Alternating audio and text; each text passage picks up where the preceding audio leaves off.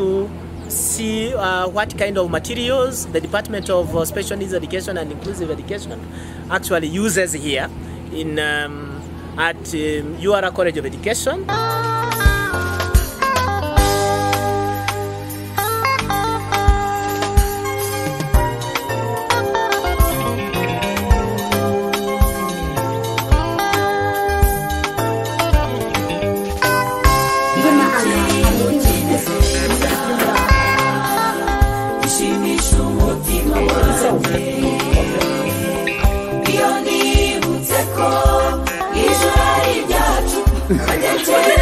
Ubona ntanumve ntanavuge bigenda bite?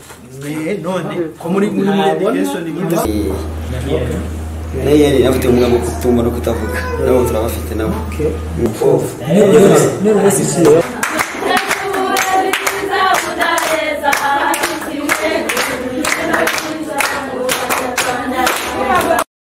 Wo kuba ufite disability ni ukuvuga ngo noneho babonaho umwanya wo kuza kuba uh, familiar with uh, disability. Noneho babibona atari kubivuga ni ukuvuga dufite ba bana du supportinga from surrounding community tukabafasha mu bijyanye na rehabilitation.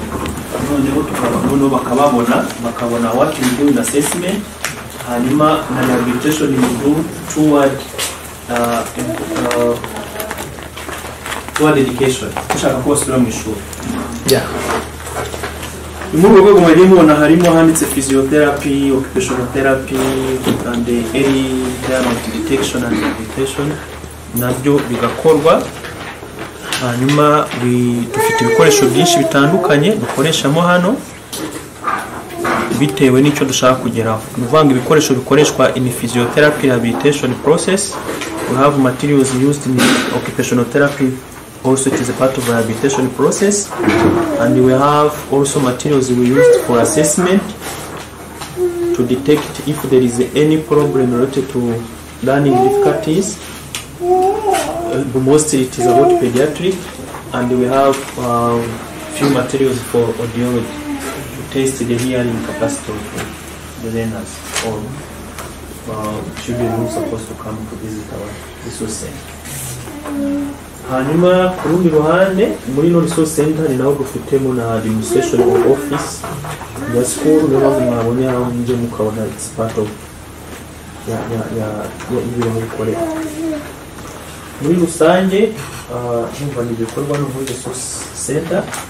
Muri resource room dufitemo ibikoresho bitandukanye bikoreshwa bifasha noneho abanyeshuri bo muri college of education bafite special need ni ukuvuga yaba akeneye ibimufasha muri abafite visual impairment yaba akeneye ibintu biza kumufasha kwanga muri iriya nyandiko ya braille ni ho biba biri yaba akeneye ibyongera wenda afite low vision akeneye kubona inyandiko yanditse avec big size magnified na byo ni ho biba biri yaba akeneye kugira ngo akore exam and test and cut ni ho biba biri na byo ibyo bikoresho kugira ngo ashobore kubikoreraho ibyo biba biri muri resource room. Ah, ikindi ni uko tugerageza guhuza abanyeshuri bacu biga special need na na real life.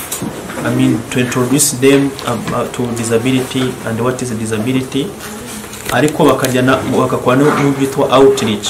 Outreach bakora bajya muri community and also they go to the schools. Schools ziri hano dufite za primary and uh, nine years. Schools ziri, ziri hano bugufi.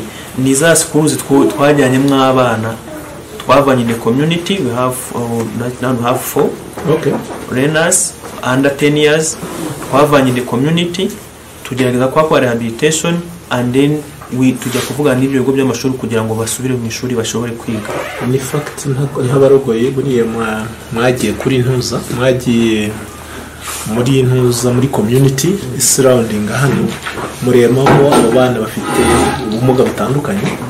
Mubazana hano cyangwa muhita directo mu mubajyana kuri muri ibyo bigo. Oya ntabwo twabajyanye directoma ku bitaro ni ukuvuga ngo twarebye abafite disability related to learning and teaching. Yes.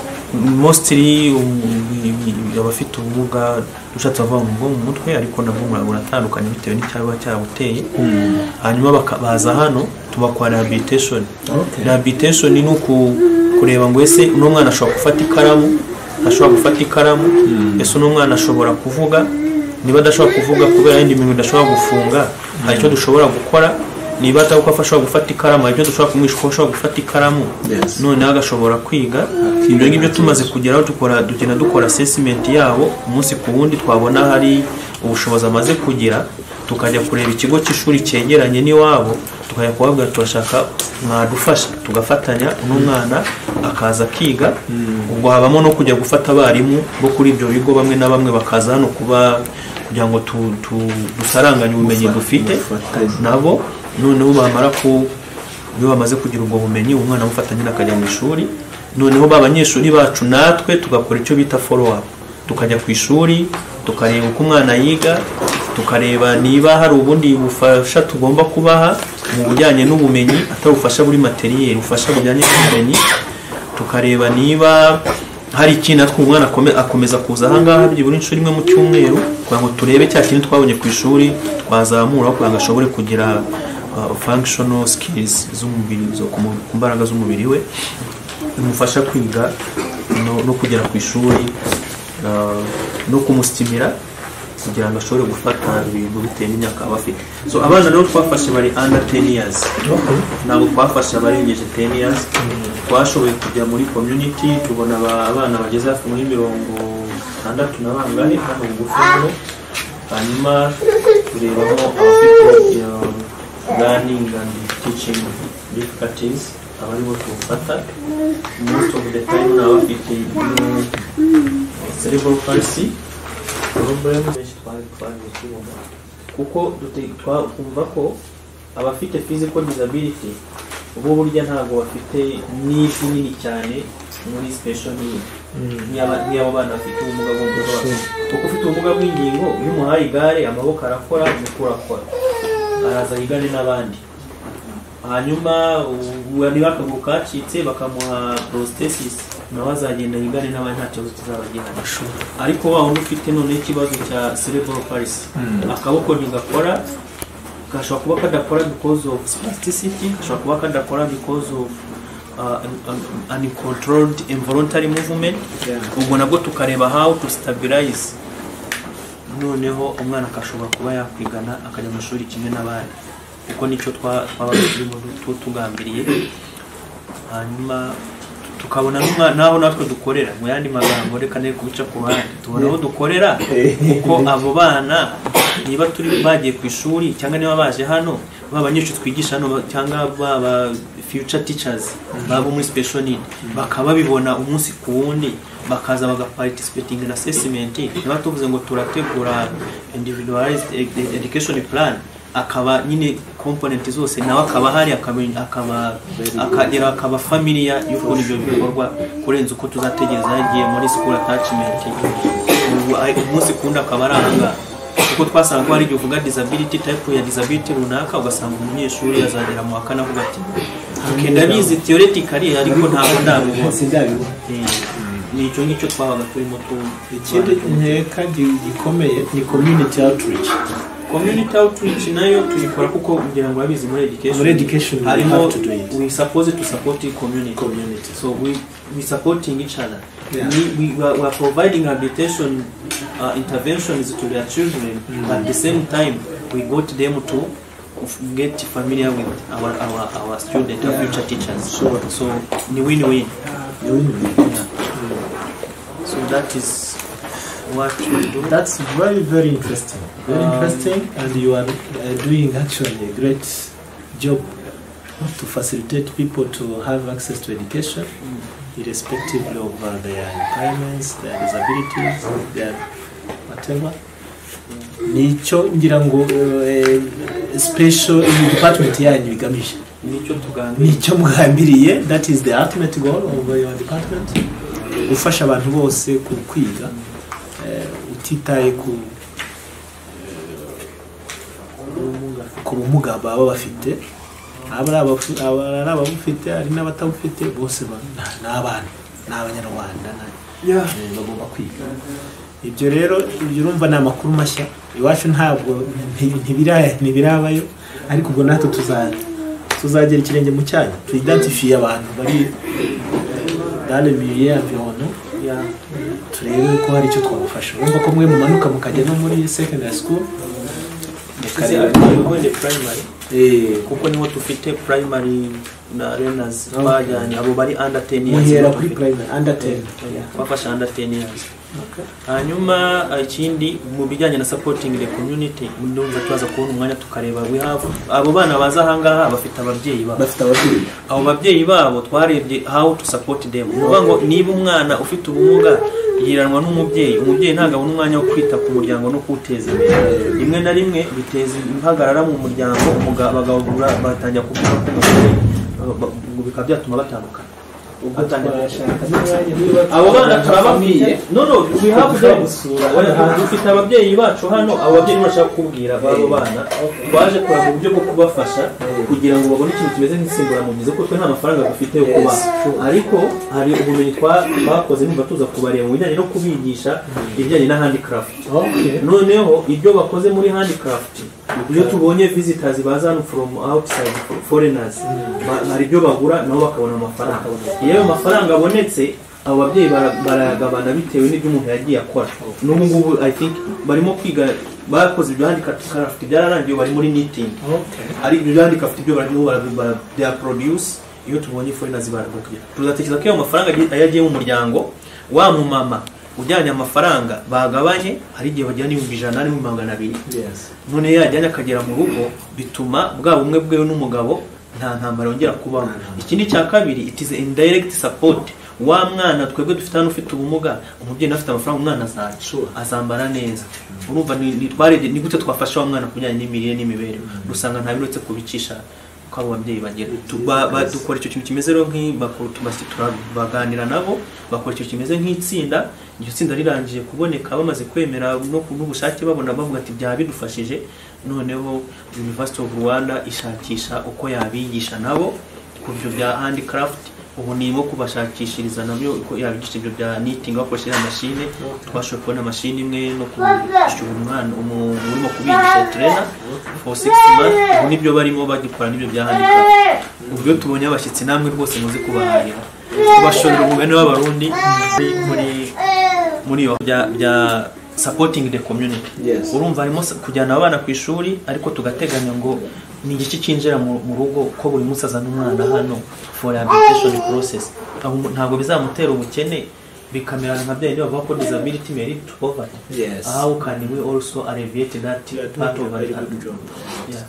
Ni icyo ngicyo ubwo nabo turaza kubasura numva actually nubwo bavuga wenda nta mafaranga mwabahaye mwarayabahaye. Kuko niyo mashini ushobora kuba ari kaminuza yayiguze Ni kaminuza- Yeah. kaminuza yamwishyuye urumva ntacyo mutakoze.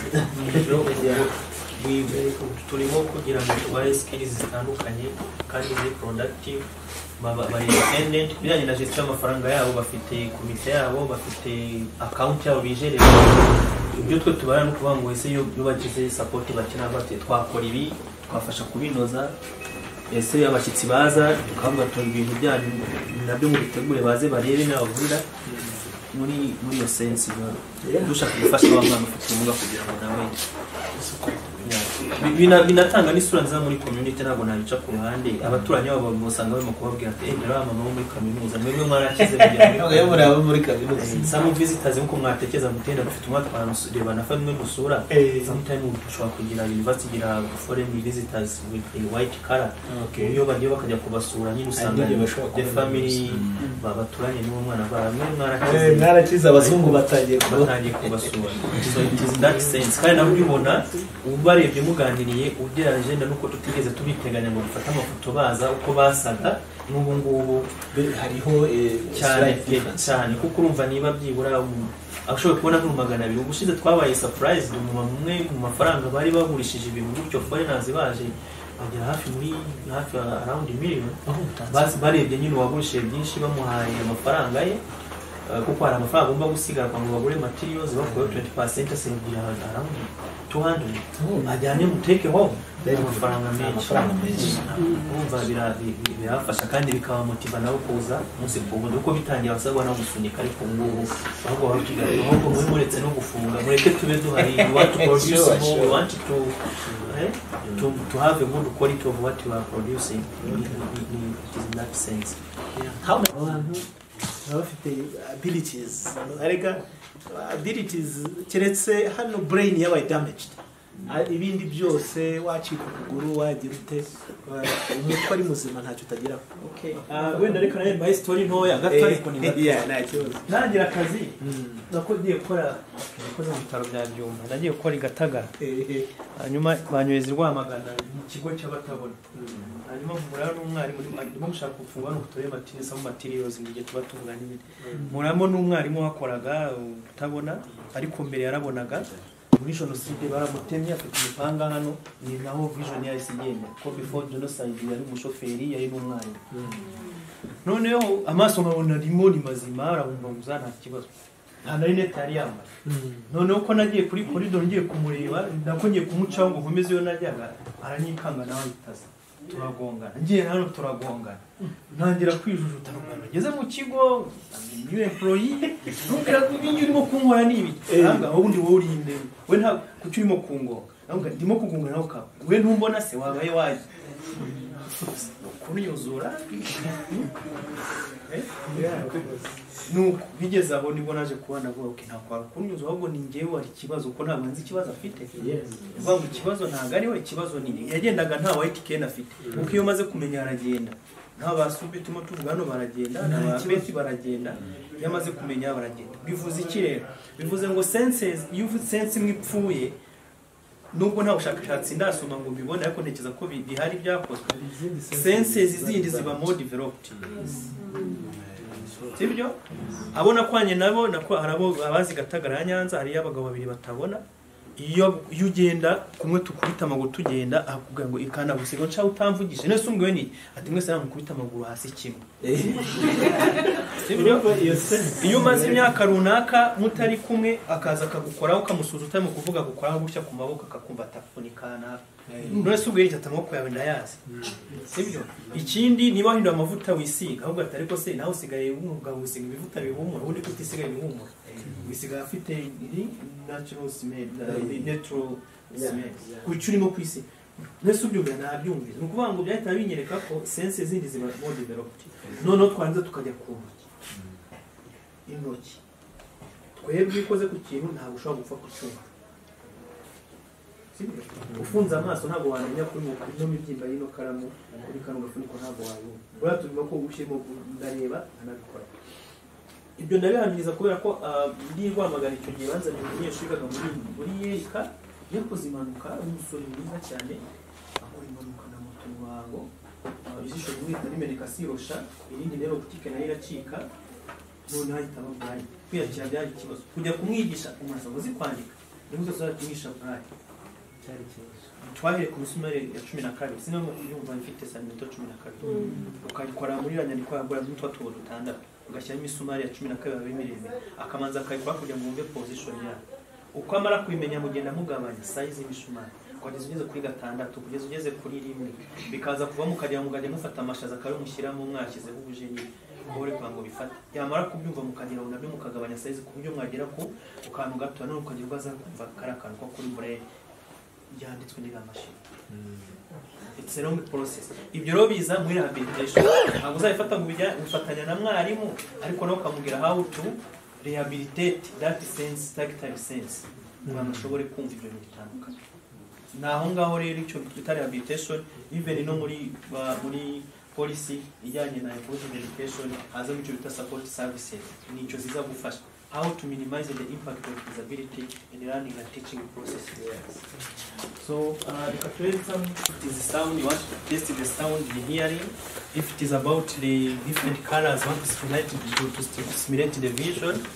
So we have different materials depending upon on the, the goal that you have set to achieve.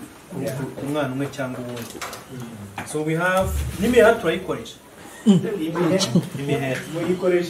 imiheha niba umwana ahora ati inkondo umuntu udafunga kuki ntamuha umuheha? Nkabihinduramo igikinisho ngafata urupapuro nkarucaguramo uduce ngafata umuheha nkajya mubwira nti tugiye gufata. Urabona you suck agapapuro gafata ugafata ku kuri extremity y'umuheha. None nta mwana nasakinge when is sucking is using the the lip muscles. Uko agenda akora uzajya kubona umuntu ufunga na za nkunda bigenda bigabanuka kuko ntabwo ahura umuntu ucyasa so kandi ubwo nabyo biraza kudufasha in speech. Niba ahora yasamye speech. ntabwo igenda neza ariko nitumara kugeninga that uh, muscle power of those muscles orbicularis oculis za hano ziri hano ku munwa so we gain something in the speech kandi ubwo urahita y'inkota so we use different materials that you have. Uraza gusanga ari dusanzwe gusa Sibyo? hanyuma iki ni ikibaho cyacu dukoresha muri rehabilitation. Ni akabati ariko ni n'ikibaho. Sibyo ni akabati twafashe bisanzwe dushyiraho aka kantu ubundi turandika. Kuvuga ngo umwana iyo yaje ubu tumwigisha kwandika tutajyanye ni sense of education nk'abarimu ariko ni sense of grip. Ashobore gufata coordination of the movement and will be able to write and draw. Hanyuma tuzavuge tuti uno mwana ashobora kuba hari ibintu yakwandika ariko natwe hari ibyo duhereye tuba tutamu want to twajya mu ishuri natwe dufite icyo twahereye tuzi ko ashoboye gukora. Even counting counting different colors gufata different colors so there are many. Ikintu cyose waza kubona ngaha umuntu afashe umwanya wo gusobanura gusanga gifite icyo kimara. Urenze umwe. Urashobora nawe uza gusanga ari n'amababa n'ibiki but that is how rehabilitation is. So you have different things here. Chalk the big chalks urazibona? Umwana udashobora gufata chalk nk'ingi ushobora gufata big chalk. If the grip is a problem ah, tukabona ko afashe iki kinini biza gushoboka. So that's mean tuzashobora gufata ino pen tugashyiraho scotch kikaba kinini. Akazashobora kujya ku ishuri tukabwira mwarimu. Ibintu byose arabishobora gufata mu mutwe. Icyo afite ikibazo ni grip ariko tukize kinini akajya yandika gutya se hari ikibazo? Icyo dushaka si uko yandika. Ni ukuvuga ngo ni ukureba umwana n'ikibazo afite and how to address the problem so um, ni twinshi ni twinshi ariko tuba tugenda tugira. Eh, mugenzi wanjye yanzaniye chalk. Ubwo yajya mu kwandika habamo n'utundi tuntu ubu natwo nitwo twigiraho kureba different colors. Na n'utubabaha twacu hano you may touch and know the colors. So ni ibintu ushobora kubona n'udupesu bikawa bikawa turaza kudushora bikawa tukareba niba bisanzwe in education ati kubikora tureba what you want to achieve. Um, hari utundi ma, ma, yazanye. Tustimulate ko ashobora kuba yakumva ijwi ry'ikintu kivuze n'akagerageza gusubiramo. Dufite utumashini duto duto tugenda dukoresha tugafata amajwi yenda niba ashaka kumwigisha alphabet twavuga ngo a akamenya aza ukanashaka kuvuga a. Noneho nawe kumva asubiyemo at the end of the day azavuga a. Ndakara karavuga. Maybe umuhondo kwanga atazi kuvuga how do we determine that kuvuga Just a moment. we need to use different processes and assessment ways. Aba ngo ntashobora kuvuga akashobora kuba atazi kuvuga kubera ko atigeze abona amwigisha kuvuga. Mwiriwe Eh, nitwa Inyange Beata. Eh, ndi umwarimu aha ngaha nigisha ururimi rw'amarenga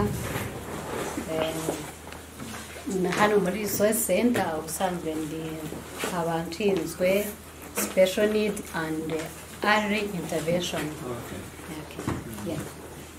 Nk'iyo umwana aje rero b'abana bari hano near the, school or near the the campus turabakira tukabazana hano. Reka tuvuge ko uyu munsi nateguye yuko ndi bumwigishe eh, wenda amabara. Ntabwo aya mabara yose uko ari ahangaha ntabwo ari buyamenye ariko noneho reka mwigishe ibara ry'umuhondo. Ijwi ryanjye nzarikodinga ahangaha uru ni urupapuro rusanzwe narikodinze ubundi mushyiramo ahangaha uru ni urupapuro nsatsi nzarukuramo bitewe n'ikintu ngiye noneho ni- ninkanda ahangaha umuhondo. Noneho ubwe eh, arumva rya jwi ririmo ahangaha areba inyuma. Mm. ninde se urimo uravuga? Noneho ashake kumwigana akanda ahangaha uwo ababona ariko? Eh, aba ababona. Eh, aba arimo arareba iyo ata- iyo ata- iyo atabona umufata akaboko ke nkanyemera. Ugakoza ntabwo kandi iyo ugiye gukorera ikintu umuntu utabona ntabwo uhita umuhubuza gutya. Niba mugeze wenda muri road about cyangwa se ntabwo uhita umufata ngo mwambuke. Se yakwibaza yuko umujyanye hehe wenda urabanza ukamubaza uti ngende nitwa kanda kanaka se dushobora kwambukana? Iyo adafite ya white cane. Niyo mpamvu nanjye nari mbanje kubasaba niba nshobora gukoresha akaboko kanyu. Ubwo rero uwo mwana wenda ntabwo akaboko ke kabasha gukora neza. Hari igihe abana amaboko yabo ameze arimo umugaga niko navuga. Noneho rero ugerageza uba uri inyuma ye ukamwegereza. Ukamujya inyuma icyo gihe tuba twashyize umuke nk'uriya muke kuri hariya urimbukira icyumba. Tukagashyira hasi tuba turi muri level. Yes. tuba tu- turinganiye tukakarambika hasi. Noneho ka kaboko ke katabasha kurambuka ndamufata. Niba gahora kari ahangaha ndamujyana ahangaha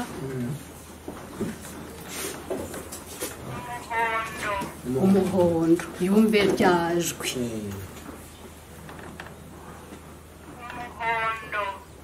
yumve ko ari umuhondo noneho ndashaka kwimura ndamujyana ahandi. Noneho habaho n'igihe umuntu ateguye ku- gukoresha aya mabara. Ariko noneho ndashaka kumwigisha indirimbo hariya naho dufite utuntu tw'utugoma dutoya. Hano haba harimo ibikoresho bitandukanye.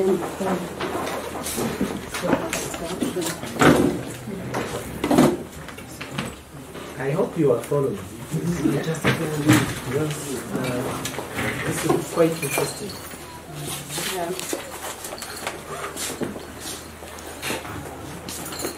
bo biterwa n'isomo nateguye uyu munsi kwigisha uwo mwana Mm. wenda ndashaka ko abasha guhindukira kuko hari igihe ahora aryamye akenshi ntabwo ashobora wenda kwiyegura cyangwa se kwihindukiza ubwo ndashaka kugira ngo umenye niba ashobora kumva ikintu cyavugiye wenda nk'iburyo. Bwe arakubita gutya. Arwane no kugira ngo yumve ajye kumva ikintu kiri hariya iburyo bwe. Ubwo rero niyo mpamvu nzakubita byari cyangwa ukabona kubisa ku migeri cyane yishimye kugira muri ibyo ngibyo. Eh. Nubwo atabasha gukoma amashyi ariko nyine wabonye yuko yumvishe Yumvishe sound. yumvishe sound. Mm, dufite rero ibikoresho bitandukanye. Ibikoresho byinshi biragaragara rwose utubati turuzuye okay abiri atarakoze ni byinshi biterwa n'ibyo umuntu ategura ikindi ntabwo dukoresha nabwiye dushobora gupima ntuza sounding ukumva kumva kiriya ni ikibuga cy'umupira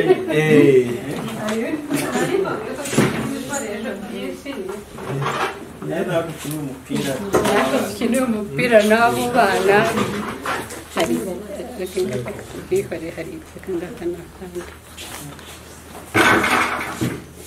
Messi. Icyo kibuga cyakoreshwa n'abafite ubumwe bumuga um, ubona abafite ikibuga ubumuga umva mbere yo kujyana umuntu mu kibuga ese byibura n'iki gice ashobora kuba yagikiniraho? Eh, Tura- urumva nubwo mu mutwe nubwo bujyanye na cerebral wese afite ibibazo bya Yeah, coordination ya movement. Eh, cyangwa wenda intoki ze ntizifata neza ndashaka kubona yuko izi ntoki ze ebyiri zishobora kujyamo hariya akamenya kujya gukubita aka gapira nyine. Akagakurikirana uyu mupira. Eh, n'uduto n'intoki. N'intoki ebyiri. n'intoki ebyiri. Ubwo ngewe ndi ahangaha n'uwo mwana ari ahangaha yanyiganye ntiwowe ideally ntabwo tuba ntabwo aba akeneye ko akina. Ntabwo ntabwo we ashaka kugeraho ni functional function ability ya za ntoki ya za and precision. Ntabwo akeneye noneho kugira ngo umwana ni uko byose tubihindura nk'imikino waragenda akarimo akina abona ari byiza ariko our, our goal we need functionality of the, things mubaza wenda kandi mba mfite na na wiso sifure mba- nyifite ubwo ngubwo rero nkashyira umupira ahangaha noneho nkamubaza nti rero tugiye gukina. Gaho rero mbwira urafata. Iyihe sayidi ibihe sayidi ubwo nyine tukagenda ntamubwira noneho mpereza intoki zawe ebyiri.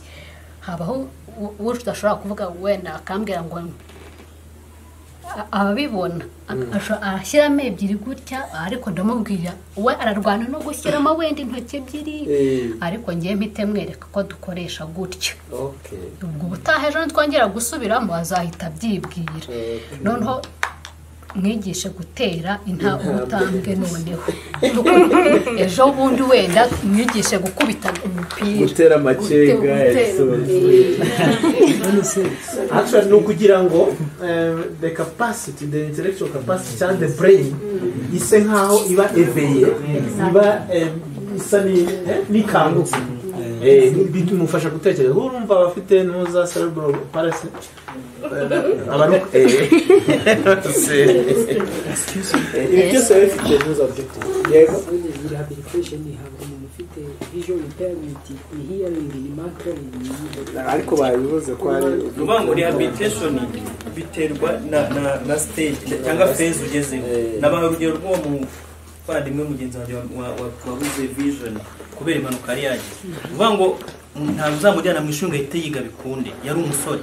Ntabwo ntabwo azigana n'abandi mu ishuri yiganaga nabo muri yereka bizasaba ko ura- arajya gusa nawe wigana n'umwana wavutse afite ubumuga bwo kutabona kujya kumwigisha burere ni ukuvuga ngo iyo rehabilitation process izazamo mbere kugira ngo turebe ko yagira functional ability zo kuba yashobora gusoma we are rehabilitating iyo iyo iyo iyo sense ya tactile sense. Yeah.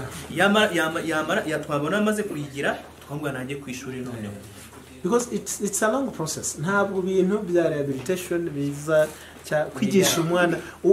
Nk'uko tubigisha mwebwe nkavuga ngo s'il vous plaît muri iki cyumweru ibi byumweru bibiri. Mbigishije isomo mugende musubiremo and the third week nzagaruka mbaha final exam. Ntabwo ari uko bigenda. Ni it's a long process. Ukora kamwe step by step bikagenda biba developed as time goes by. Isn't it? N'undi adashobora kuvuga kandi akaba atazi sayini language wenda n'urugero akaba atazi sayinizi umwigisha kudeveropa riburidingi kureba ku munwa akamenya ijambo uvuze Eh. Akakureba ku munwa akakwigana. Ntavuga ahubwo ahubwo ikindi kibazo utarimo kuba kuba atakikubaza. Eh, umwana utabona ntanumve. Eh, ntanavuge. Bigenda bite Eh, none ko muri muri mutubwire uko muzabyitwara mumaze kubitwaramo aba ngaba nibo bagiye kugirinda nabo bundi bakirangiza Urumva, ntabona. these questions abo ngabo ntabwo tuzi ko babaho ntiyumva ntabona ntanavuga muzabigenzamo how are you going to handle it And- kandi he has to be part of your class think akoze Touch, yes. kandi atabona atabona kiyoje kanotsi n'abatabona barakora ukuvuga ngo twe turimo gushaka wowe mwarimu how are you going to to In your class. muha uzamuha ubumenyi gute cyangwa uzamuha instruction gute that is the case Eh, bagiye kuzahura nabo ejo bundi baraza. sibyo urimo kuvuga ngo aza- azajya wowe muri amakuru tiki wenda muri teaching practice nyaraba so Baramwirukana. kuvuga ko afite loss of ya capabilities gute? na hearing and speak- speech ntabwo bivuga ko mu bwonko ari zero. Eh, mm-hmm. Mm-hmm. ubwonko bwe burafunctioning drawing drawing by fingers. Drawing by by fingers. How kandi atabona tubwire nyine Azavuga ibintu atabona. you, can take her hand or her finger and draw letter A by using her hand. And another day also you draw letter A. Katabo- katabona se uzabwira n'iki ko arimo ayikora eh. neza you you know that You start by guiding him. by saying, I'm none se we azajya reka rero icyo kibazo ubwo ni ni bara- bakibasubize munabimenye ariko ukoresha signs tactile nk'uko nyine iyo abona ukoresha bo niba mvuze ngo good morning muri sign language wowe urareba ntabwo nta- kibazo cyo kutabona ufite. Ariko noneho ufite ikibazo ntiwumva ntuna urabona ngo nkorere sayinizi uzirebe ntusubize. Ukoresha tactile sign. Ngewe ndi sender of the message you are the receiver of the go, you are going to touch on my hands. Touch hands wifunga amaso ko mureba se ntabwo urimo no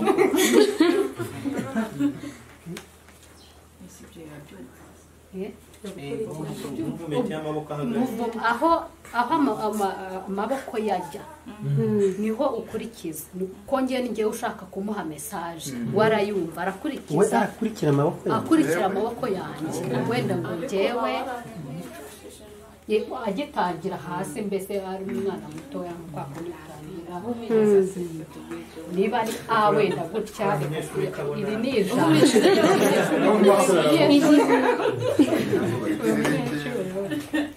noneho ngo reka tuvuge ngo iyi ni a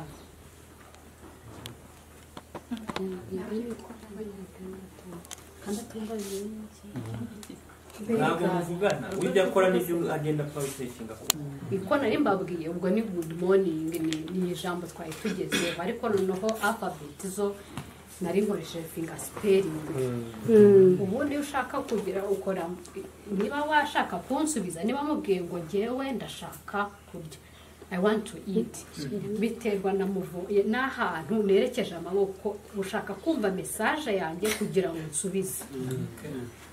Nawe uransubiza uransubiza ngo wenda ngo. Nanjye ndashaka. Nanjye nanjye ndashaka. Mukoresha amaboko nyine.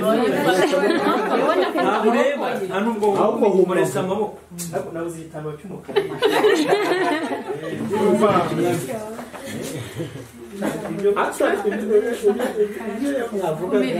umuntu ntiyumva ntabona ariko byibuze eh, ikimukozeho aracyumva.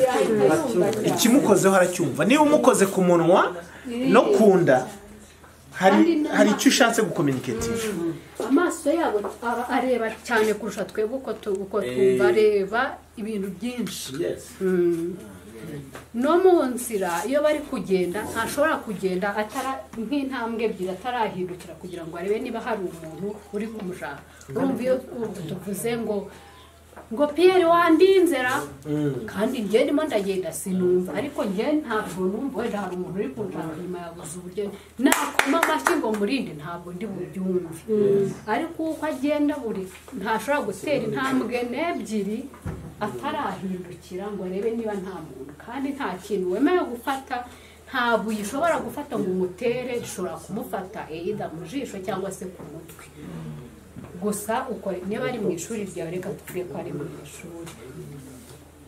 Barimo bara- barafata note ku kibaho barimo barandika. Ese urafata inguri uzibatera umwana yubitse umutwe kandi we urashaka guhamagara akamana ngo are- ngo areke kwandika hanyuma basobanurire. Urafata ingo umutere urabigenza gute? Uragenda umwegere? Ese utakoresha umwegereye? Hafi ntabwo bashobora kwandika batara- bataragira batarubura umutwe kugira ngo nta muntu n'umwe mu ishuri ryose. Ntabwo bashobora kwandikira icyarimwe n'imibare Mhm. iyo agize gutya ahita amubwira uwo begeranye ka- nta handi hantu wemerewe kumukora usibye ku rutugu. Kugira ngo ahita akubwira ngo mwarimu aragushaka ah, ahita akubwira ngo sori ahite akurikira nyine Sorry. no arareba. Nawe nureba. uwo nureba. Ariko niko Mm.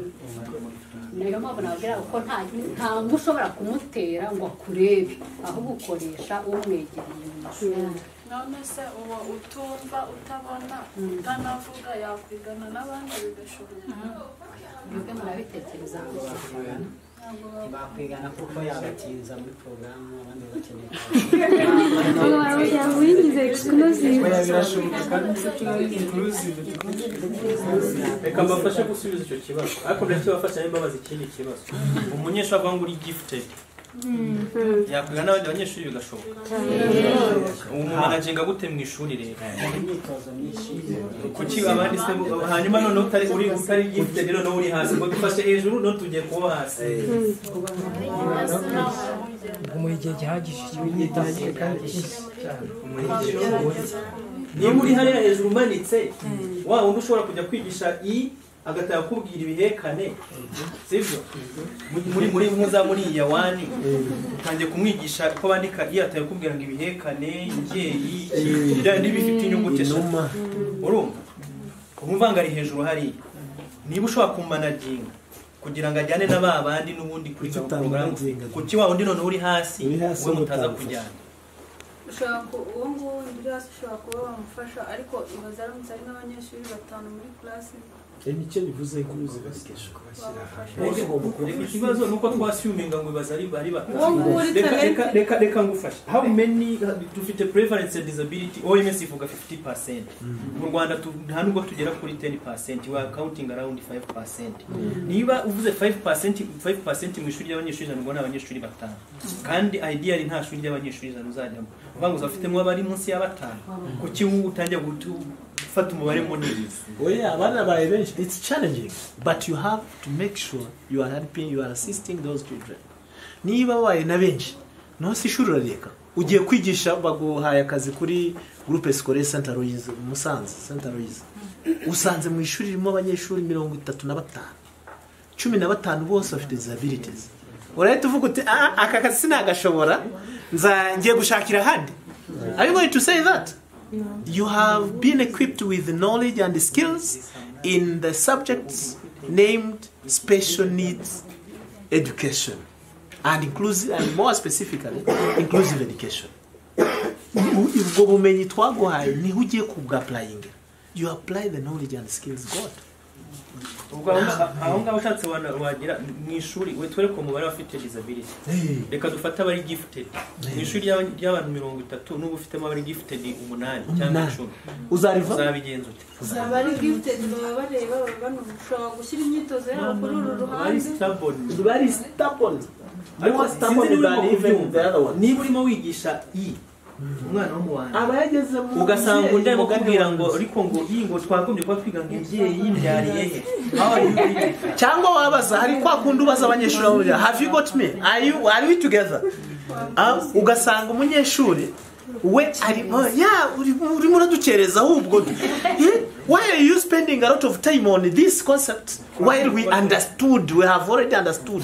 Now imagine if uwo mwana ni stubborn bashyiremo ari babiri muri karasi ubwo ko aribo bazakorera kuba ntabwo bazakorora so part of, part of the objectives of this visit ni um,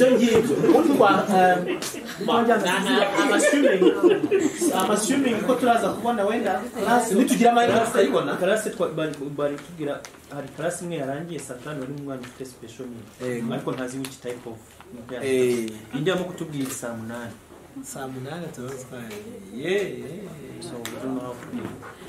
Ah, reka twikomereze ibyo ibindi.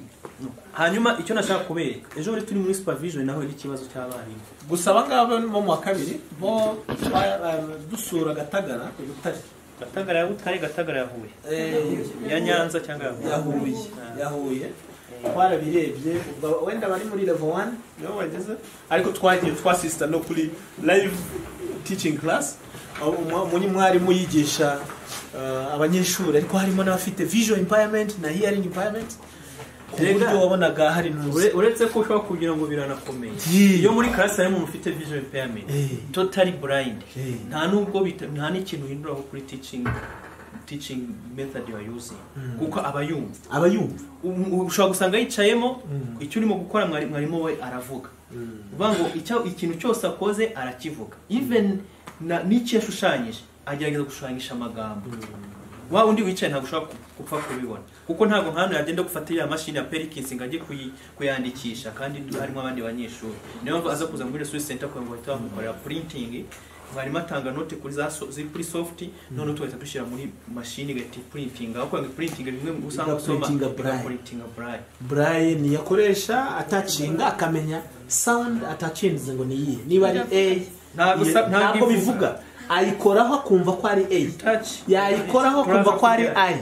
Bikagenda and so on so forth. Ku buryo ageraho agasoma n'igitabo cyose. Igitabo cyose. ya nyanza. Sharire rwose ndasoma amasomo mu kiliziya mu misa nk'iyambere cyangwa iya kabiri. Ikindi ikindi twa- twabonye Sinzi niba mubyibuka. Abari muri level 2 murabyibuka ko twabonye abantu bari eh, bafite babona ariko batumva. nimba ushaka ko tumupima hano.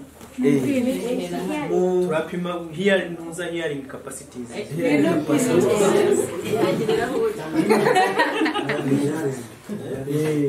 tangira kuri mase tumupima aka ngaka tugakoresha nyine ni audiometer tuba tugira ngo turebe Audiometer. Tureba ngese umuntu arimo kumva kuri yumvira kuri decibel ya kangahe. Ubundi ideally umuntu yumvira kuri kuva kuri frequency frequency y'ijwi yumvikana iri audible iva kuri makumyabiri kugeza kuri makumyabiri hertz. 20 to 20000 hertz. Noneho decibel. Decibel yo tufatira ko umuntu wakagombye no gutangira from zero ukageza ku ijana na makumyabiri. Ubwo rero tuba twagira ngo twumve ngese umu- umu- uno mwana dufite. Niba hari sound yumva bizatuma ubushobozi bubonetse bakamubonera icyo bita hearing aid. Kamwe ashyira mu matwi. Ubu ngubu birakunda. Ariko abantu utumva buri buri iyo ya hearing aid nta gishobora kuza kumufasha. None how to determine who need hearing aid who don't need hearing aid. Ikindi cya kabiri. Ni ni ukuhe gutwi kumva ni ukuhe gutwi kutumva. Twese ntabwo twumva ku matwi amwe. Nanjye nzi ko kuno kumva gahoro. Maybe because of phone I don't know. Kumva iyo mpimye nsanga harimo difference from, from the sound sibyo ubwo ni icyo ngicyo tuba dushaka kumenya aje kwipimisha naho shyira amazi akubabwira uko bimeze. Shyiriremo ntibafungura gutya. Ibi ni nk'ibyo muri kajugujugu. Iki kiri cya shyiramo neza hejuru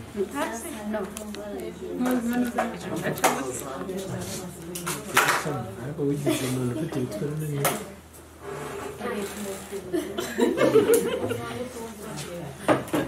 arajya kwivuza ubwo arasigara hano turamusiga ahangaha ubwo azarangiriza hano bafite ibikoresho dusanga utuntu murafata kano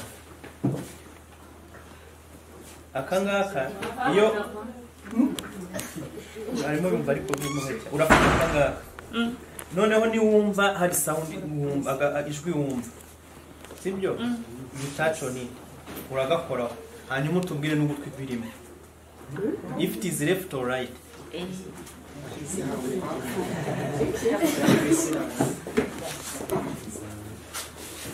Reba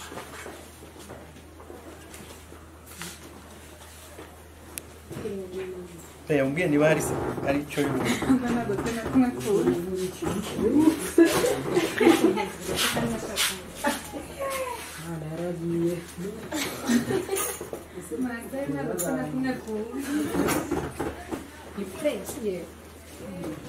which ear ntabwo yumva sinakubwiye ko ufite ikibazo icyo nashaka kubona ni ukugira ngo ndebe yumva kuri decibel ya kangahe kuri frequency ya kangahe. Ugutwi kw'iburyo oya? 45 kuri frequency y'ijana na makumyabiri na gatanu. Eh, ni nomo ko tuhavuze ko frequency y'ijwi iba iri hagati ya makumyabiri na kangahe? Makumyabiri n'ibihumbi makumyabiri.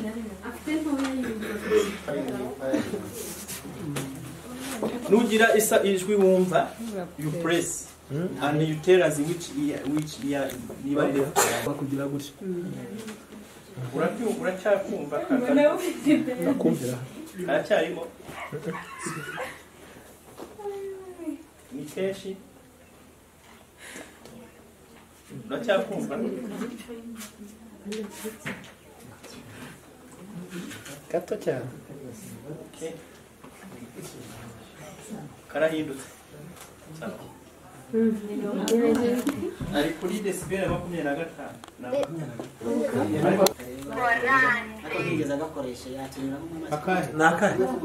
kariya gakora kimwe na kano kariya turikodinga amajwi yacu cyangwa ay'umwana cyangwa aya mama we noneho tukagashyira hariya kugira ngo umwana aba yumva ari nk'imikino cyangwa ukaririmba.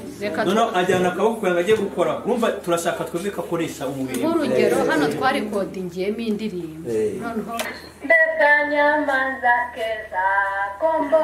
twebwe birasa nkaho turimo tu- turakina ariko turashaka kumwigisha kuko akaboko ke gakora. Ari aragenda yumvishije ko ako karirimbo niyumva bya- byacecetse ararwana nako ajye ku- aze gukanda hariya. ajye gukanda hariya. Yasubizemo yumve ka karirimbo. Eh, akomeza ajyana umutwe. Eh, niyumva bicecetse. Ubone muri mu maso ye harahinda. No kumenya ko iyo bihagaze ajya gukanda. No kumenya yuko bi- bihagaze. Arwane na byo ajye kujyana akaboko noneho nituva tuza tujya muri risosi kugira ngo ababyeyi bari uwo mwana wacu ajye ku ishuri afite ishuri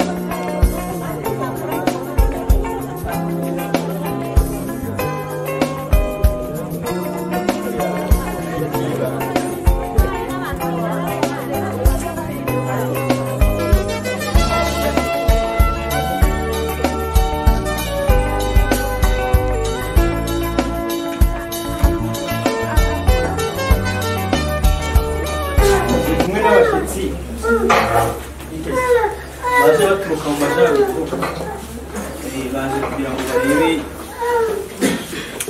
uko tubayeho banze kubihera nta ibindi bashaka kwerekana ngo baze barebe ko namwe muri muri ubwo rero aho umwanya beyata na perezidanti wa perezidanti w'itsinda rya ku- tukabibwira mbere yuko twebwe mu- muratwumva duturutse mu majyaruguru nk'uko yabivugaga hari kaminuza ibayo bita ines ruhengeri sinzi niba mujya muyumva ines ruhengeri rero um, iri na- ni amashuri abiri. Uh, ndi umwarimu wabo nitwa hakimana jean felix hanyuma uh, abangaba biga harimo abiga mu wa mbere harimo n'abiga mu wa kabiri. Uko niko twabivuga. Nubwo barenze no mu wa kabiri. Aba banyeshuri rero tubigisha amasomo y'ukuntu bashobora kwi- kwigisha. Eh, turabigisha kugira ngo nabo bazajye kwigisha abandi. Muri za segonderi segonderi ubwo ni amashuri yisumbuye. Ibyo hari mu mashuri yisumbuye rero ushobora gusangamo abana bafite ubumuga bigana ndetse n'abana batabufite ibyo ni ibintu bisanzwe. Iyo niyo gahunda twarimo batwereka ibikoresho bikoreshwa aha ngaha batubwira ko hari n'itsinda rikorera aha ngaha ndetse rifite abana bashobora kuba bafite ubumuga butandukanye ariko abo bana bakaba akadere abana bagafashwa ndetse ah, hari n'ibyo mwagezeho bitandukanye byinshi bitandukanye. Ubwo rero ni byo twari tuje kureba aha ngaha twarangiza eh, wenda tukabyigiraho tukabona n'abo ngabo baka- bakabibona bakabona ko ari ibintu bibaho hanyuma bikazabafasha gufasha aho bazasanga muri ayo mashuri yisumbuye bazajya kwigisha turimo turabategurira kwigisha mu mashuri yisumbuye. Niyo mpamvu rero twaje kugira ngo basure muganire mubabwire amakuru yabo hanyuma akanya gato cyane nk'iminota nk'icumi n'itanu iri tsinda rero ni iry'ababyeyi bafite abana bafite ubumuga ubumuga butandukanye. Twakira hariya muri risosenta abana bamwe muri bo ni abangaba mureba harimo uwo bita teofira ni uyu nguyu we ni n'umunyeshuri buriya mu kanya turaje turirimbe si byo se teofira Teofile amakuru. Turirimbe eh, w'umugabo na ndakwemera. andereya hariya. Iri tsinda rero ryitwa ubwiza rikora eh, ryitwa itsinda ubwiza rikora ibintu bitandukanye. Harimo uduseke hakabaho n'amapurato akoze mu migwegwe perezidanti wabo ni- ni uyu nguyu. Wenda twamuha umwanya nawe akatubwira muri makeya. E- ese iri tsinda ryabagejeje kuki? Aho bavuye n'aho bageze. Rimara icyo abana abana ryabagejeje kuki? Murakoze kuba mu mpamvu yo kuganira n'abashyitsi mwadusuye kandi turabishimiye tubahaye ikaze. Twakira abashyitsi.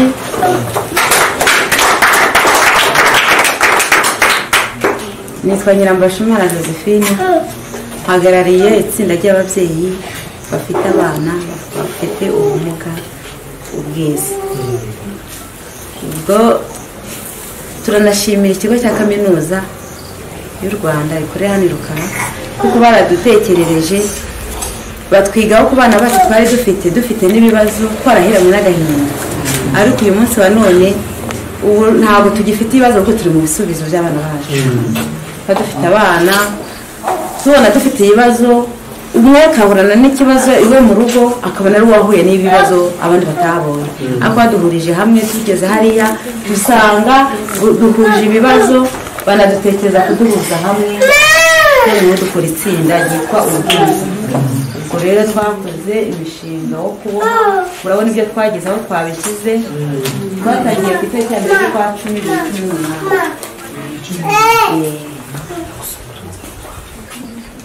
Turakomeza turabyiga ndetse dushima yuko badushakiye n'isoko bakabidufashamo turabasha kugurisha tukiteza imbere tukabona amata y'abana tukabona isukari yo kubaha urabona ko natwe dukeye ndetse n'abana bacu uko twabazanye bameze barimo kugenda bakina ukuvuga nabonye ko atari karande umwana umukurikiye ukamukurikirana aho yaba ageze yafite aho agenda ageze namuzanye ariko?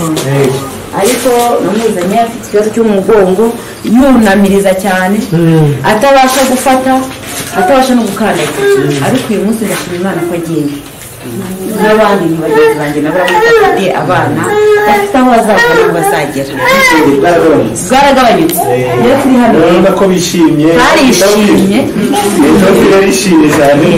Eh, ubwo rero turashimira na kaminuza y'u rwanda duhurije hamwe tuba tuzi ko hano harimo abana bato bashobora kwiga bazi icyongereza cyangwa igifaransa ariko nkatwe b'abakecuru urabona turashaje dufite imyaka mirongo ine n'icyenda ariko ndashima Ah, ndashaje ariko ndashima yuko ninjira hano nkakora imyuga yanjye umunyeshuri wanjye umukozi mu murima ndetse no mu rugo nkaba mpagaze neza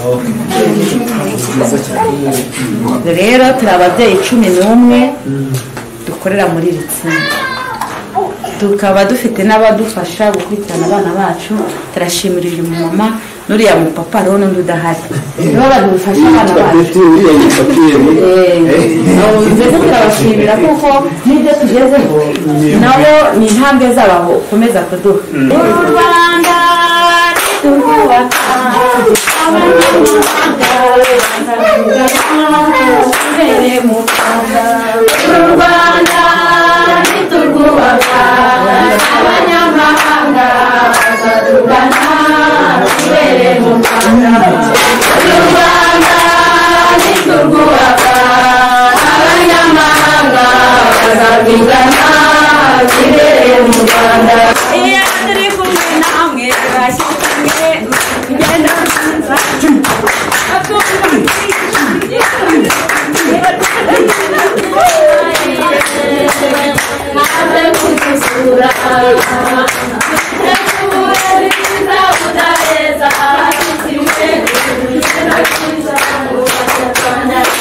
barashaka yuko nawe kutubwira. Eh, icyo amaze kwiga mu ishuri kuko nawe turamwakira.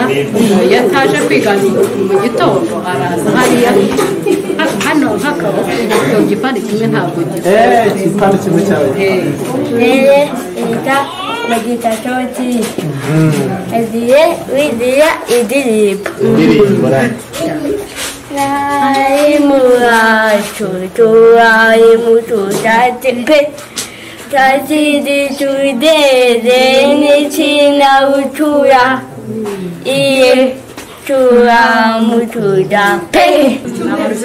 icyumweru kimwe gusa kuva ku wa mbere ni bwo batangiye mu cyumweru kimwe dore ibintu bamaze gukora byagaragarije ko ari abantu bakoze ubwigunge koko bafite barabikora babishaka bafite umwete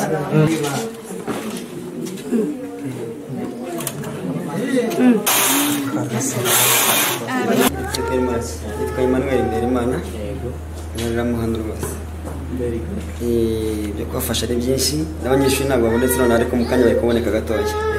Eh, barimo barafata ifunguro ngo ridashira kuko ri- rigira igihe rimara. Mu kanya baba bahageze. Turajyana n'abandi banyeshuri dufite umwe ufite ishuri. Saa munani baba bari mu ishuri. Sinzi nawe mwaza kugira ngo mukamureba saa munani baba bari mu ishuri. Kugera saa munani ejo na- ntabwo turaba turi nta- ntabwo bibuze gushobora hano rero dufite ibikoresho ndabereka mu nshamake dukoresha dufasha abafite ubumuga. Dufite abanyeshuri bafite ubumuga butandukanye. Ni bangahe mirongo itatu n'icyenda. Batandukanye hamwe n'abatabona n'abamugaye n'abafite ubumuga bw'ingingo. Eh, yari n'abafite ubumuga bwo kutumva no kutavuga. Nabo turabafite nabo. Mm. ubwo iyo baje hano aba ari bonyine ntabwo baba bari kumwe n'aba bandi bari badafite ubumuga. Iri shuri ryacu ni inclusive.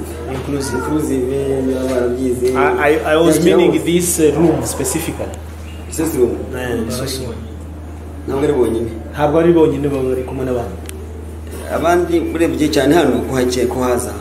Bahakenera ubufasha burenze ku bwo babonye mu ishuri. Eh, ni cyo gituma baza hano basa n'aho ari bonyine.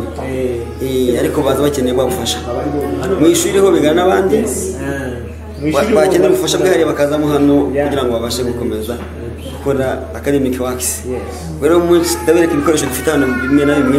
Murakomeza imbere mwese ntabwo Eh, benshi kibazo. cyane. Eh, murakomeza imbere.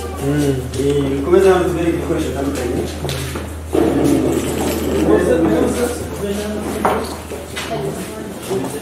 Ako nabo bari gato bose bakaba bahageze Eh, mu kanya gato musanga iminota mike cyane baba bahageze iminota nka cumi n'itanu nabatwereka niba Eh, nibaza baradusanga gahunda rwose hano murabona ibikoresho bimwe biri hano ntabwo byose bagenda ni bikeya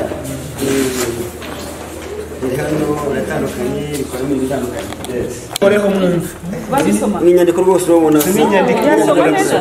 Inyandiko neza. mu kanya baraje babasomera imihangano iminota mike barabahageze inyandiko hagati muri icyo sibaye rwose iyi ni buraya y'abatabona ni inyandiko Bas- basomesha intoki. Abatabona bari mu byiciro nabo rero hari abatabona bakoresha inyandiko ya buraya bakoraho noneho hano ubona buhoro ukoresha inyandiko isanzwe wayigize ntiwayivumbuye biterwa n'uburyo afite ikibazo igisubizo bitewe n'ikibazo afite. Asomesha akaboko kamwe se cyangwa ashobora gukoresha yombi. Cyangwa agatoki. Mukanya baraje mukanya barabaje babafasha noneho rero twandika burayi dukoresha ibikoresho bitandukanye. Hari yitwa sirete andi sitayirasi sirete andi sitayirasi sirete mu gifaransa bayita taburete niko bavuga? Iyi uri puwenzo iyi niyo yandika sitayirasi sitayirasi niyo ikoreshwa n'urubaho mbese. Ushyiramo pipa. Na ruduwaze ni urubaho. Ushyiramo pipa ukandika kuyandikisha bitandukanye n'uko na bindi Okay. yitwa sirete andi stylus. Eh. ukandika ni ukugenda ujombajomba inyuguti niba ifite ubudomo burenze kamwe uragenda ujomba ubudomo bitewe n'ubigize inyuguti. Iyo bandika bahera bahera bahera ibu ibu iburyo. Iburyo ibumoso. Niko bandika. Which is different. kugira ngo apfumura iyo agiye gusomana ruhindura yagiye bisaba kwandika uturutse iburyo ugana ibumoso. Yo kwandikisha iyi sirete andi Eh, noneho yandike A. Yonyine yandike A ntabwo ari yonyine bihagije ntabwo ariyo yonyine yandika text. Hasi ashobora kwandika text. kujomba kandi nari cyane ujombe reka ngufashe gatoya kuvuga ngo bureri ifite roots. Roots ni utudomo dutandatu. Bureri zose ni twa tudomo dutandatu turaranje muri korane dutatu dutatu. Ibintu byose aragenda akora ni twa tudomo dutandatu. Ashobora gukuraho kamwe cyangwa agakuraho tubiri cyangwa agasigaza kamwe bitewe na n'inyuguti gafite ni ukuvuga ngo jeri yose isigaye ni twa tudomo dutandatu yes. Ndakwereka software yo kwimena wenda mbere mu kanya we bandika bakoresheje sirete urabona ko bitwara igihe kinini. Bitwara igihe kinini. Eh, kuko ya- ya- yanditse jomba gutya iyi sirete stylus igenda ijomba. Yajya gusoma agahindura kugira ngo asome za nyuguti yakora abasha gukoraho urumva ko wanditse asoma turiya tuntu wanditse twajeho ihindukiye gutya ari imbere Twakoraho. gusomaho leta guta gusoza gusoma Eh, biragoye urumva ko usaba igihe kinini kuyandikisha ariko iyi irahindutse cyane okay amashuri yose yahindutse Ashobora- ashobora bayishyiramo noneho iyi na yo igahendaho kuruta iyi ngiyi iyi yitwa pake simbure na yo zandika mbure na yo ushyiramo impapuro ukandika nk'uko uyu mugabo wamubonye na mwarimu yarabizi kuyandikisha hari ibyo yanditse hano na yo inyandiko itiboneka Zanditse hano. ni hano kuvuga ngo ya roots y'utudomo dutandatu ngiyi iyo ntabwo arajo mbese iyi ngiyi akoresha ya burerisweri noneho akadomo ugakoresha kamwe cyangwa nkagira tubiri cyangwa se ngakoresha ni ukuvuga ngo wowe wandika usigamo kugira ngo ni tube niba nkoresha kano kadomo nzi ko ari a igihe tuba tungutu tubiri tutwegeranye nzi ko ari b iyi nzaho ndabazi ko ari c ni ukuvuga ngo ni uko nguko ngomba kwandika ubundi iyi akaba ari space. Ubudomo bwose ni butandatu yavuze inyuguti runaka Izisanzwe. kamwe bubiri cyangwa butatu inyuguti zisanzwe zose uzi zirimo. Tu- ari dutoya twa ni dutandatu ariko ari gufata ubudomo burenze kamwe. niba niba niba ambonye akoresha akadomo kamwe kari kuri position number one koramu ya mbere. Ariko bizaba bitandukanye niyo yaba akadomo kamwe kari kuri koramu ya mbere kuri number two. Urumva bigenda bihinduka ya mibare yose tukayibona. Nako za nyuguti zose tukazibona n'imibare yose na yo iba irimo hano imibare ntabwo urayimenya n'ubundi utabizi. Ntabwo wabimenya. Ubundi urabona ibidomo urimo uravuga eh, ntabwo wabona ibidomo wabona ibidomo utabibona ahubwo bisaba kumenya inyuguti. Kuko iyi ntabwo wanayikoresha utari trained for that. Bisaba ko you need to be trained in using it. To know this language eh, this naho language, kugira right? ngo andika iki urakimenya. It cannot help. So what we needed to you to, to do is to see these materials and see how they are used. No no need nisaba ko wigisha ahantu bazakoresha prize you, you will need specific training for that. screen rebe nashakaga ya brere tuvuga. Ya brere is composed of six dots. Uyu mudomo mubona butandatu bumwe ni butoya ubundi ni munini cyane Eh, this is a brere cell eh, which is composed of six dots. Yeah. to write the letter a we only used 21 you, you borrowed yes. Eh, try to letter yes aliyo a try to letter b.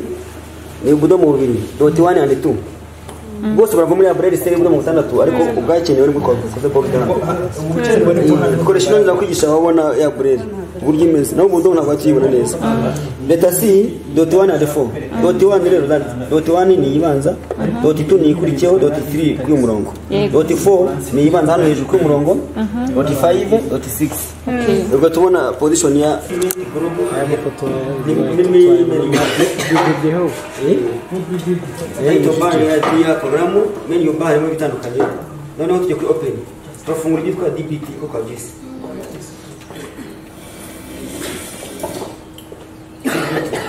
kuri desktop harya no bizi dbt iri ndayibonye hariya igiye gufunguka. Eh, inyandiko yacu yafungutse background of the study ni ibintu bikomeje yafungutse ni ibintu dukeneye gushyira muri ya burere yacu. Eh, porogaramu twamaze kuyifungura twayifungura muri porogaramu tugiye kudufasha. Hano rero hari ibintu byinshi bihari. Hano hari indimi. Translation code tables. Harimo indimi zitandukanye nyinshi cyane. Kandi inyandiko yacu iri muri english. Turifashisha english rero. English na zo zirimo ni nyinshi. Ariko hano dukunda gukoresha english. British with capitals. Capital ni iki? capital letter small iti- itikinze ni english american. Ndafata english british with capitals. Eh, noneho ya nyandiko ya mbere twabonye na yo igira ibyiciro hari burere bita grade 1 cyangwa grade grade 2 burere abrege cyangwa burere non abrege burere grade 1 ikigaragaza ikwereka inyuguti ku nyuguti. Ibyo kwayandikamo wandika inyuguti muri jambo jambo rikageza inyuguti ijambo ryose rirangiye ariko grade 2 yo irahina. Irahina amagambo hose. Hari ibimenyetso byumvikanweho muri mpuzamahanga.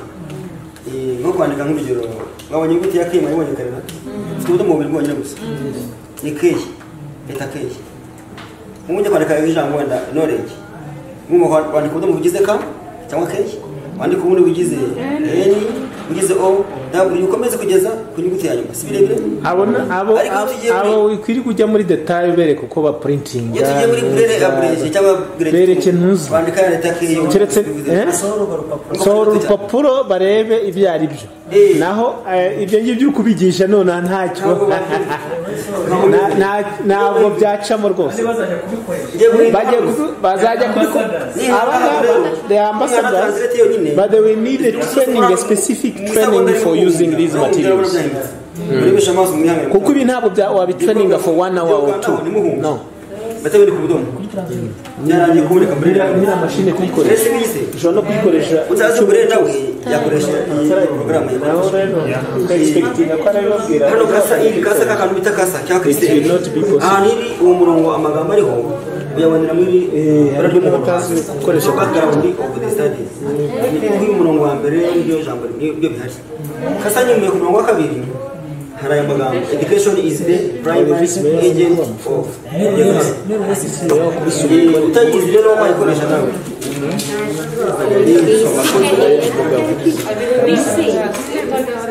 ako kantu rero rero ako kantu uvuze ngo ntabwo kariya kadomo kari hasi iyi ni imeze inyuguti nkuru kariya kantu rero ubonye kabanza kariya kagaragaza inyuguti nkuru ni ukuvuga kuva hano abayize akadomo kabanje kavuga inyuguti nkuru ya bi yagira inyuguti nkuru ya akadomo kabanje urabona ko ari bi abajya ku ki atari bi ni inyuguti nkuru bi ubwo rero ngiye guprintinga biye uburyo kubye kubizana na imposi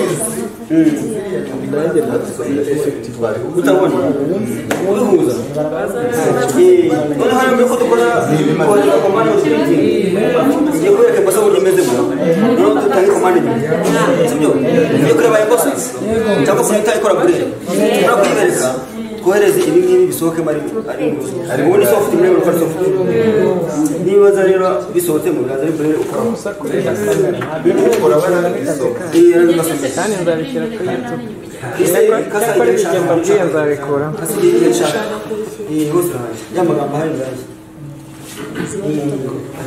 ahubwo njyewe nzabanza gute iyo kope nzayibona ko ariyo nzaheraho negura ikizamini Kuri abayobozi b'imisozi turangiza tujya kohereza printing ko ni ukuma komisiyo yo kuyi- ni ukuma komisiyo yo kuyigira ni ukuma komisiyo yo kuyigira priorite de priorite tugiye kureba rero nabereke different materials. Um, mwazibonye ziriya- ziri hariya mwazibonye hanyuma you, you can maybe print. Kugira ngo bya bindi babasobanurire babone ko byakozwe. Hanyuma ubundi niba hari ikintu bereka within 10 minutes. Eh. muri mu ishuri siga abanyeshuri Eh, niba hari twabareka akajya musanga Mbosa hamwe n'icyenda saa kumi nimugoroba bagomba kuba bageze muri inesi bakajya mu ishuri zabo biga nimugoroba. Ubwo rero ndi kubara amasaha Mbosa bambaye icyuma kuri dufatanye kuko dufatanye wakoze iyi Mbosa akayita ACS iyi niyo printer yayo iyi ngiyi ikoresha kuri dufatanye ariko iyi Mbosa ikoresha idafite iyi rero ikoresha ifatanye kuba yikoze igashyizeho hano uburyo imeze irimo kuba zifata kandi zidafatanye no kuba zifite na Mbosa aba ari copies nyinshi Inside ikoresha impamvu two sides Macron ni ziri kuko urukundo rwanda na zo rufatanye eh rero kuko nizo zikoreshwa noneho rero electronic rero muri muri kwaje gusa ni nka computer ifungura umuriro niba ufungure mbosa iraza kwivuga mu kanya gato igira izina ryayo niba utabona yikoresha ngo kumbure hano handitseho ndabona ifite utu dot eh dot turiho n'ijambo riri munsi y'igi ubona ubona na abantu bari muri level 2 ntabwo mubona ko mwagomba kuza hano. Hariya hirya nta bikoresho nk'ibi twabuze nta na kimwe. Cyakoze nabwo twabonye abanyeshuri nyine biga live teaching na methods used. Ariko aha ngaha tubonye ibikoresho byinshi. Yivuze. Iravuze ngo index basic dv4 irivuze. Iyi gikora kakajya bakorera iki ya muri fayiro hano ni mwa mudomo bwa mbere uri kubona fayiro hari banza Ah, muri kubona hasi hano handitse embosi nta hantu handitse embosi muri fayiro ufunguye fayiro utahabona ugaraba yamaze umwanya yakurisha hariho fayiro kandi wicaye eh klika muri fayiro ufungure afunguye fayiro yafungutse handitse embosi nkahabonye klika muri embosi kanda arimo rimwe arimo handitse kopi andika kanda kuri ok cyangwa enter mutege amatwi hano ugiye kuvuga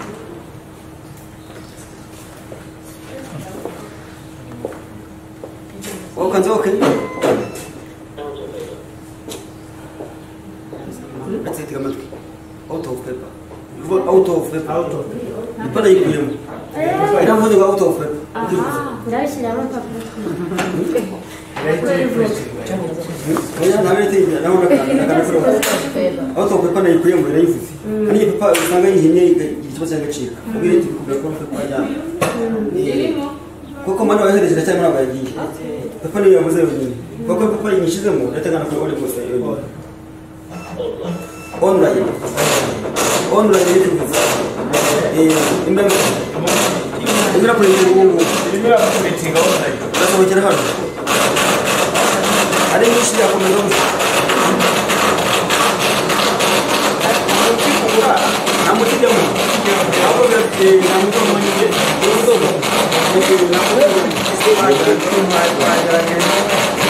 cyangwa muri test cyangwa muri kane iki rero ashobora gukoresha ikopi iyi mashini agasubiza n'impapuro yandika ya burere yasubiza yarangije kubisubiza rero byavuye muri burere bigasaba ngo byandukure bitirangiretinga mwarimu ntabwo azi burere Eh, mwarimu ntabwo azi burere ugahereza mwarimu agakosora Eh, iyo akoresheje iyi pakisi burere yanditse inyandiko ya burere asubiza noneho umaze kumenya kompiyuta rero we akoresha kompiyuta Eh, kompiyuta ayikoresha gusa keyboard agomba kuba yizi yose keyboard rero bayikoresha batabona ntabwo bakoresha iyi mouse mouse ntabwo bayikoresha mouse ni yandi bita suri Eh, akoresha kompiyuta yonyine na programu yitwa yitwa JAWS yitwa Double Access with the Speech na yo ifite mpano na yo imwe Eh, irimo hano muri mayo yanditse JAWS ni J A W S.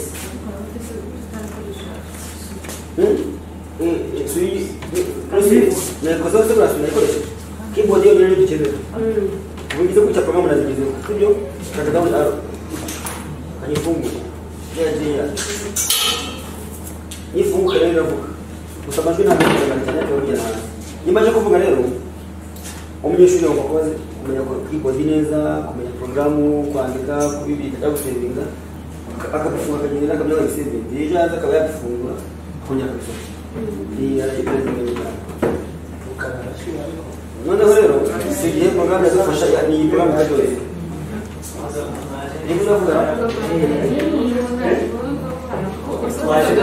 niba uravuga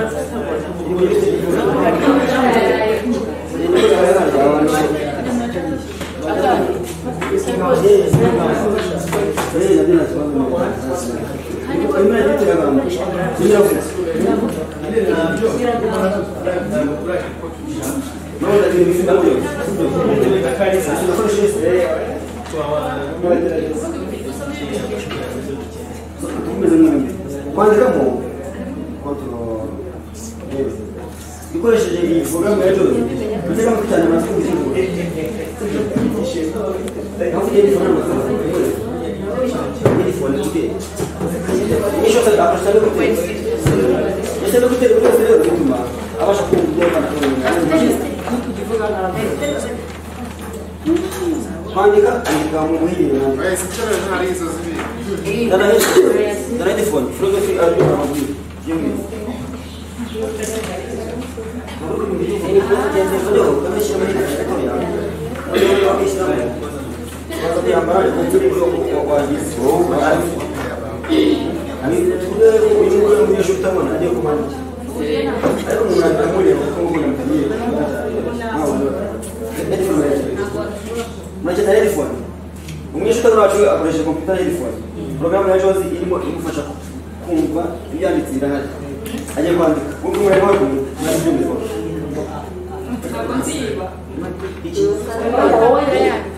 murandika ibyo mukeneye ariko ijambo kuyivuga hanyuma ni gute mvuga kuyivuga X.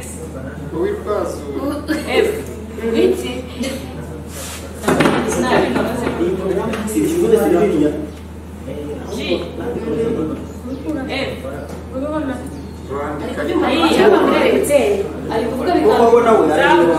Wiki. si ikivuga sinabiriya G. F. kuko wabona we utabona rero abayifite keyboard mu mutwe niba utayihereza ayandika na porogaramu yitwa yose akafasha kuyivuga kandi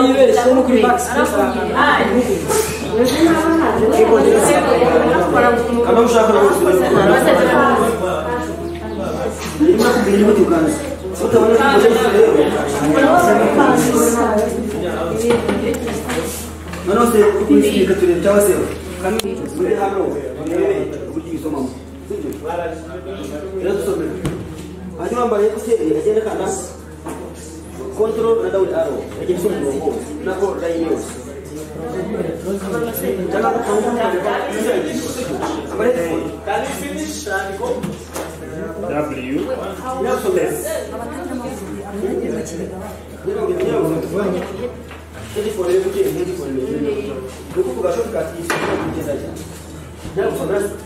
그러면 낮에 살았어요. 어려운 일이 세월이 아와는 비와속자고 사람이다. 아니, 지라고 지라고 무슨마 여기 소마. 아무 여기 소마. 여기 소마. 여기 소마. 여기 소마. 그래서 여기 좀 하세요.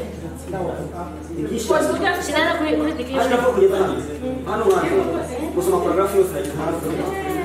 Porogarafu yose ushobora gusoma ijambo ukaraka igihugu cyangwa ijambo cyangwa bwose gukoresha guza mu ese ubusoma byose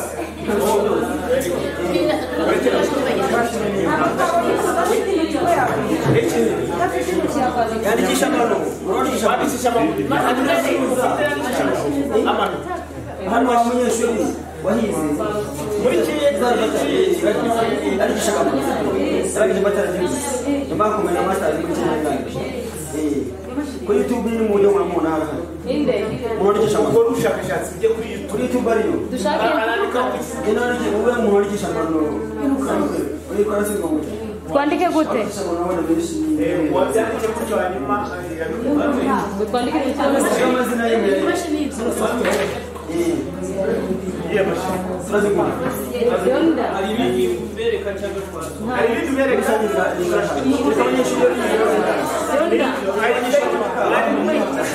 akira rwose akira nawe se mbazabigere wese uyu mwarimu amaze igihe kingana cyigisha hano muri ibi nahoze mvuga wowe nahoze mvuga ko ufite professionalism kandi ufite expertise ikomeye so give it up i thank you very much. Yeah imyaka maze gukora natanze bibiri n'umunani bibiri n'umunani Oh, very good. Yeah, yeah, yeah. The masters, very good. Oh, very good. aba bantu ibibazo byabo gusoma yabisoma kamwe gusoma yabisoma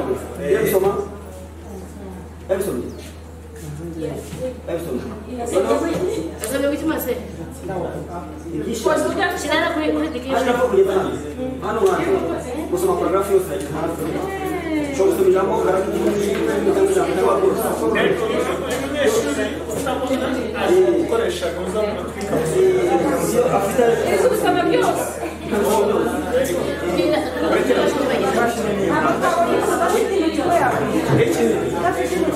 yandikisha amano wandikisha amano hano wa munyeshuri wahize muri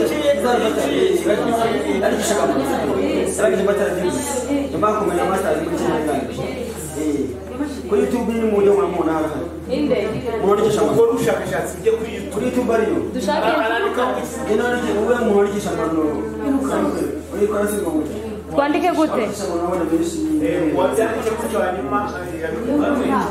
mu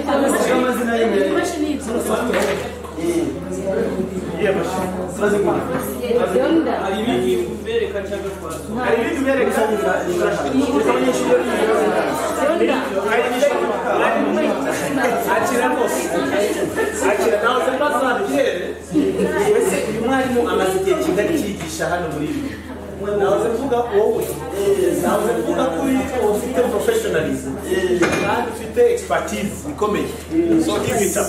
I thank you very much. Yeah. Imyaka maze gukora natanze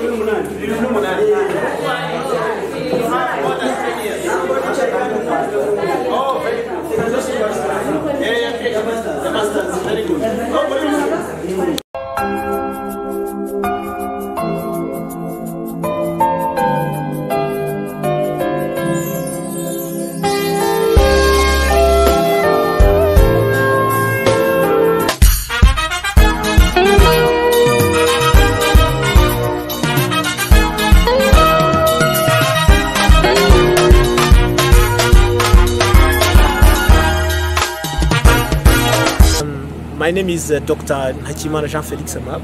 Um, I'm a lecturer at Ines Rangeri um, um, um, in, in the Faculty of Education, Department of French English Education. And um, I teach different courses uh, in relation to education, psychology, and uh, uh, yeah, uh, special needs education. We have, for us, we have come here to URA College of Education to introduce our students of the Faculty of Education, level one and two, to the practical skills in the course subject in the subject of uh, uh, special needs education, and we have come to see uh, what kind of materials the Department of uh, Special Needs Education and Inclusive Education actually uses here in um, at um, URA College of Education, and we've um, we've got a lot of materials, a lot of uh, uh, human resources, and other resources needed by um, uh, learners with uh, disabilities while teaching them together with the learners without disabilities. Yeah. Why have you opted for coming to the College of Education Oka campus? Yeah, my, actually, my background is um, education, and I've been trained here, here when Kigali, when it was Kigali Institute of Education in Kigali, and I knew that uh, this school actually has got a lot of materials, including um, uh, different materials to use when teaching inclusive classes. So we wanted to actually give um, a kind of exposure to our students from Ines Ruhengeri to those materials to see how learners with disabilities actually learn with learners without disabilities. For this trip, for this uh, um, field study, we were expecting uh, to have um, exposure to a number of materials, to um, live classroom teaching, um, where we have both learners, of course, learners with disabilities and learners without disabilities. Have We- your expectations been achieved? for sure, the, our expectations have been achieved because we have uh, we have been exposed to a number of um, resources, including um, um, yeah um, the the the resource room, the resource center with a lot of materials, with the highly qualified uh, teachers, facilitators, and they showed us a lot of uh, materials that they use when teaching learners with disabilities uh, to, or together with learners with, with disabilities. Our students actually learned a lot because they have been exposed, or for example, if I can give a, you an example, the learners did not did not know anything about braille um, that machine that that is used to um, uh, to actually for learners with um, visual impairment um, they, but they have known it. They have known it. They have been exposed to a, num- a lot of materials and they have actually participated in the live teaching and learning of learner uh, of an inclusive classroom. This is actually something good great uh, we have achieved here. What new things have you learned from this study? From this study, we learned a lot of things. Uh, um, if I can give you an example, uh, this uh, college actually, in terms of community outreach, they have um, they have um, they have helped assisted to a good number of families that have uh, children with disabilities. We have learned that an institution uh, of higher learning like this can also assist people uh, from um, the surrounding community and achieve a lot together with uh, them. So we have learned a lot. What is the way forward to this study trip? Uh, Uh, when forward- back to Ines For sure. Well, back to Ines, we are going to, uh, first of all, uh, we are actually uh, preparing an exam, a practical exam for these learners, uh, for, for our students. We are going to administer uh, a final exam, uh, and the final exam will be based upon this uh, field study we have um, carried out. And uh, later on, we expect our students to be more competent in uh, teaching uh, in teaching actually inclusive classes because these students by the end of uh, next year they will graduate they will have graduated uh, from Ines, from the Faculty of Education, whereby after that they will be they will go um, outside there and they will be assigned with um, roles of teaching, whereby they can teach uh, actual inclusive classes. Uh, we expect them to be performant there. We expect them to use these um, meth- methods that they have learned from here, from uh, URA College of Education, to effectively and efficiently teach learners with disabilities uh, all together with the learners without disabilities. Is there anything you can add?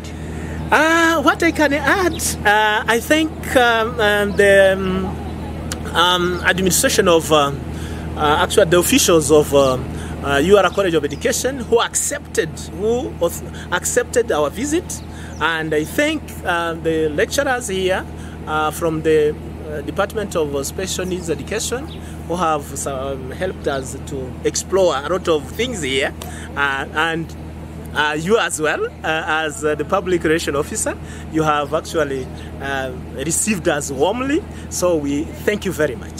So thank you very much. My name is Christine Imbabazi.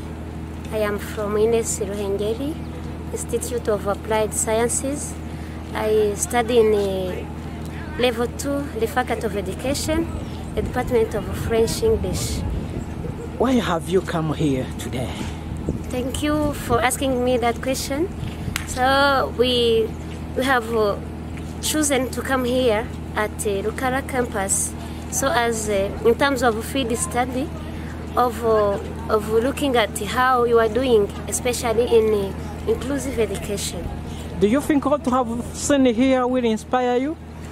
Yes, of course. It will inspire me because I pretend to be a future teacher.